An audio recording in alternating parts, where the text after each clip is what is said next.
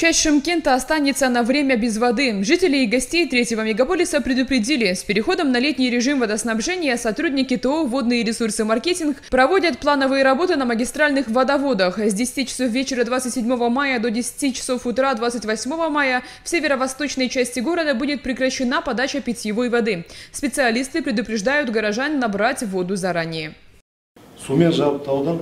От водоснабжения будут отключены массивы Карасу и Акбай, а также микрорайоны Нуртас, Восток, 16, Север, 17, Шапагат, 18, Наурыс, Верхний и Нижний Атрар, районы школы МВД, Сайрам, Малый Самал, улицы Сухэ-Батура, Ерембетова и Адербекова до улицы Верещагина. Диваева, высотный сектор, Дулати до улицы Урманова, Шаймерденова и Курмангазы до Жандосова, проспект Кунаева до улицы Жандосова, Байтурсынова, дома 84, 84А, 86, 86А, 92, 94, кардиология и онкологический центр.